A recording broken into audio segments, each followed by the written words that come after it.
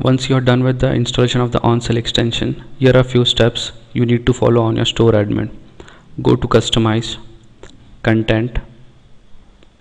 scroll down, go to main menu, go in the add new link, add the name of the tab you want to add, add the PHP file from the root folder add it and save once this has been saved